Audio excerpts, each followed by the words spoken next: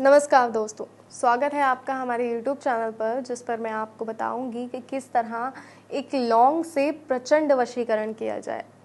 जी हाँ सिर्फ़ एक लौंग और कोई सामग्री नहीं चाहिए। सिर्फ़ एक लौंग से किस तरह प्रचंड वशीकरण कर सकते हैं, किस तरह किसी व्यक्ति को पूर्णतः अपना बना सकते हैं एक लौंग के माध्यम से। तो आइए मैं आपको बताती हूँ कि आखिर करना क्या है। हमें सिर्फ़ एक लौंग लेनी है और इस एक लौंग को हमें एक पूरा दिन अपने मुँह में दबा कर रखना है।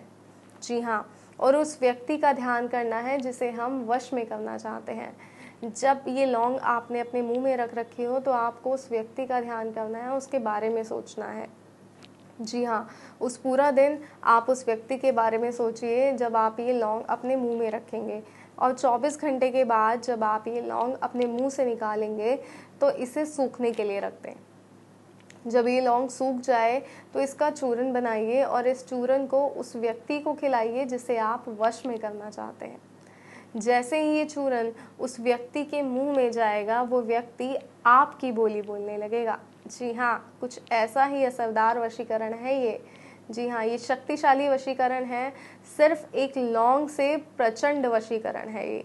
तो इस विधि को अपनाइए और एक लौंग के माध्यम से किसी व्यक्ति को अपना बनाइए, किसी को इस हद तक अपना बनाइए कि वो आपके दूर जाने के नाम से ही काँप जाए।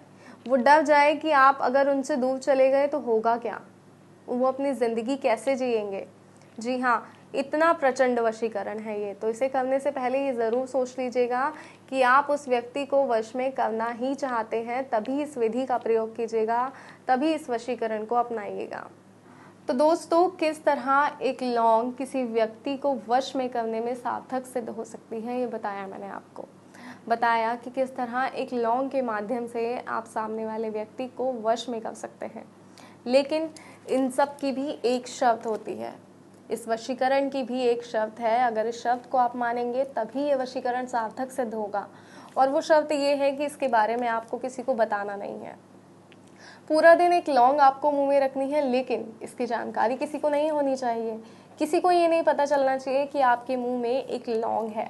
क्योंकि अगर इसकी जानकारी किसी को हो गई तो ये वशीकरण सार्थक नहीं होगा। मतलब ये वशीकरण काम ही नहीं करेगा। तो इसलिए इस बात का ध्यान रखिएगा कि इसके बारे में किसी को कोई भी जानकारी ना हो। क्योंकि अगर जानकारी हो गई तो वशीकरण अपना असर नहीं दिखा पाएगा और आपको लगेगा कि ये तरीका गलत है, बल्कि ये तरीका सही है, लेकिन आपका इसके बारे में चर्चा करना या किसी को जानकारी देना ये गलत है। दर्शकों, वशीकरण अपना असर तभी दिखा पाता है जब इसके बारे में किसी से ज़िक्र ना किया जाए। इसके बारे में किसी से कोई बात ना की जाए, किसी को बताया ना जाए कि हम ऐसा कोई वशीकरण करना चाह रहे हैं या किसी व्यक्ति को अपने वश में करने की सोच रहे हैं। अगर आप ऐसा बता देंगे और उसके बाद ये वशीकरण करते हैं तो ये वशीकरण कभी भी सार्थक सिद्ध नहीं होंगे। तो इसलिए कोई भी विधि अपनाने से पहले इस बात का खास तौर पर ध्यान रखिएगा कि वशीकरण करने से पहले, खासकर ये विधि अपनाने से पहले आपको ध्यान रखना है कि आपको इसका ज़िक्र नहीं करना है किसी से।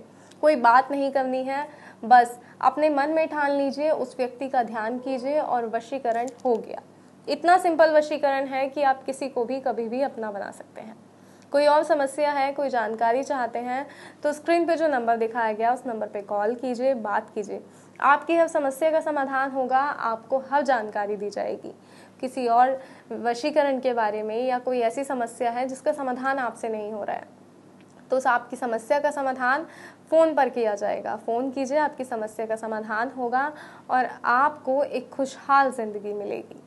जी हाँ। तो फ़िलहाल दीजिए इजाज़त, फिर हाजिर होंगे एक और नए तरीके के साथ कि किस तरह आप खुद को खुश रख सकते हैं। जय माता दी दोस्तों।